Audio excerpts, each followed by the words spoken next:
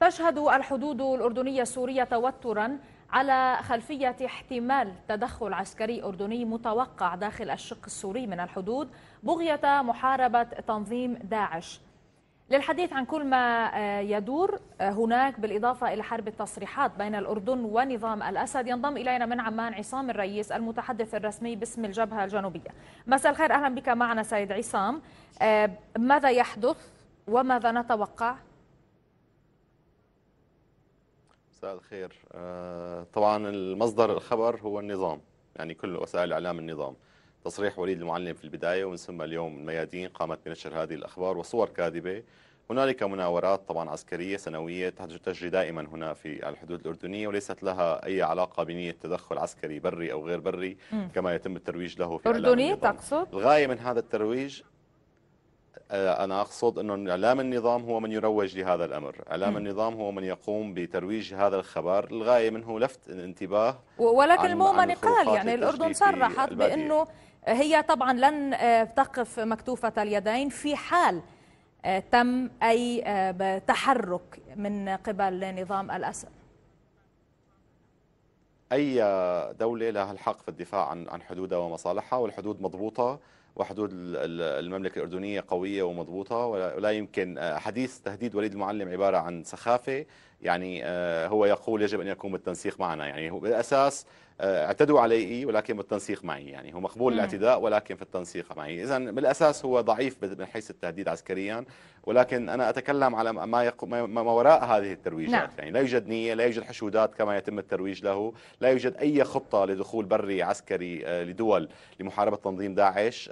الجيش الحر هو فقط من يقاتل داعش حاليا والنظام يروج لدخول قوات أجنبية لأنه يريد ان ان أن يلفت الانتباه عن الخروقات على المناطق التي زعمت يعني روسيا آه، لتحرف المسار عن جنيف كما ذكرتم بفقرة مع الاستاذ جورج آه، عن عن عن الأمم المتحدة وتأخذ مسار أستانا على أنه واقعي وهناك مناطق تخفيف توتر وهذه المناطق تعمل بشكل جيد طبعا كل هذا الكلام غير صحيح خروقات موجودة لم يوافق الجيش الحر نعم. على الخطة لا يوجد تفاصيل ابدا عن هذه المناطق ولكن اليوم النظام تقدم في البادية السورية على طريق دمشق بغداد وحاول السيطرة على الثلث الثاني من هذا الطريق. آه، الغاية من هذا الأمر هو وقف آه، تمدد الجيش الحر وقف هجوم الجيش الحر على داعش. يعني هو يقف بين الجيش الحر وداعش تماما كما فعل في درع الفرات في الشمال.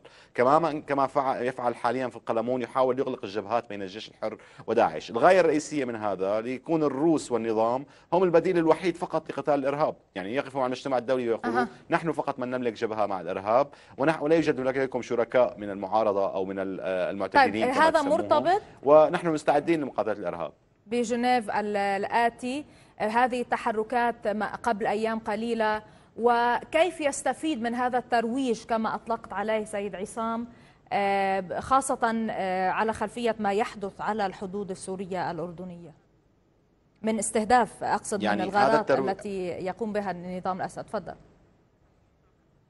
يعني هذا الترويج يروج له بأنه هناك قوات وتحشودات وإلى ما هنالك لقتال داعش آه، يأخذ الصدى الأكبر على الإعلام والنظام يتقدم في الصحراء لأن مناطق هي مناطق نفوذ وليست مناطق سيطرة. يعني أنا أتكلم عن مناطق صحراوية فارغة يعني حتى الجيش الحر يتنقل فيها ويضع كمائن ويضع آه، على على على مناطق معينة في الجبال ولكن لا يمكن السيطرة عليها بنفوذ أو بقتال. مناطق صحراوية. اليوم نظام يروج لهذا فقط للفت الانتباه. أما ما علاقته بجنيف يعني لا أعتقد أن جنيف الآن آه، لها أمل آه، إذا لم يتم تحقيق إيقاف إطلاق نار كامل. زيارة آه، لافروف إلى أمريكا ليقنع الأمريكان بأننا ها حققنا نحن مناطق آمنة كما كان يسعى الرئيس ترامب أو كما روج الرئيس ترامب. والآن في تخفيف تصعيد. آه، دعونا نذهب إلى انتقال سياسي يناسبنا على طريقتنا يعني. ولكن آه، الأمريكان صرحوا امبارح غير أن الشيطان يكمن في التفاصيل هم يعلمون بأن هذه المبادرة ميتة قبل أن تبدأ. يعني يعلمون ما وراءها وماذا يريد الروس من وراء هذه المبادرة. هي كانت تحرك مستعجل وعرض فارغ من الروس فقط لإغراء الدول الضامنة بأننا اننا نحن جادين هذه المرة خاصة بعد ضربة ترامب العسكرية بعد تدخل ترامب عسكريا نحن جادين ونريد أن نفعل شيء في مسار إيقاف إطلاق النار. ولكن انتهاكات مستمرة لا وضوح بالاتفاقية. آه، مناطق تخفيض التوتر أنا أنا ما بعرف وين مناطق تخفيض التوتر يعني. شفتهم على الخريطة بس بس أما ما شفتهم على الواقع. اليوم الانتهاك بالقلمون هذا وين؟ هي مو منطقة ريف دمشق ليست هي تتبع لتخفيض التوتر في نقل دبابات وعربات ومدفعية تم اليوم. هذا الأمر هل هو مسموح في الاتفاقية؟ هل الروس يقبلون بأن الشرطة العسكرية الروسية التي ادعى وليد المعلم أنها هي القوة الوحيدة المسموح بدخولها إلى مناطق الفصل؟ وبالتالي هذه هاي الاتفاقية منسوبة تماما يعني بالنسبة لنا كجيش حر وبالنسبة كمعارضة سورية يعني الكلام عن اتفاقية أستانا في اجتماع وزراء الخارجية سيكون مضيع على الوقت لأن الأمريكان وكل العالم الآن يعرف أن هذه الاتفاقية فشلت ولم تطبق على أرض الواقع، لذلك نحن اليوم نواجه جنيف بصعوبات وأعتقد لن يكون هناك تقدم ما لم يتم تطبيق إيقاف إطلاق نار بالقوة بالقوة وعندما أقول بالقوة أقصد بقوة الإدارة الأمريكية الجديدة أن أه. تفرضها على الروس لفرض إيقاف إطلاق نار حقيقي وكفاية تمثيل. شكرا جزيلا لك. سيد عصام الرئيس المتحدث الرسمي باسم الجبهة الجنوبية كنت معنا من عمان.